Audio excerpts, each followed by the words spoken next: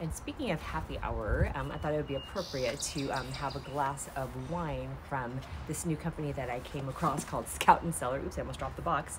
Um, where they um, do clean crafted wine, which means that it's um, free of pesticides, low in no added sugars, and lower in sulfites. And I'm just learning a little bit more about wine, but I'm excited to um, open this bottle of red. What do we have today? We're gonna do a, it's called Dove Hunt Dog. It's a Cabernet.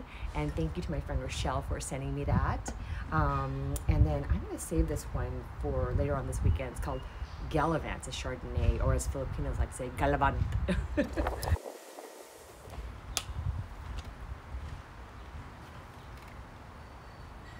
Boom. Yay.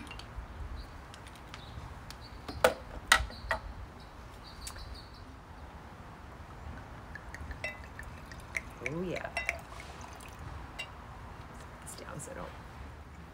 Okay. Cheers to all the moms out there.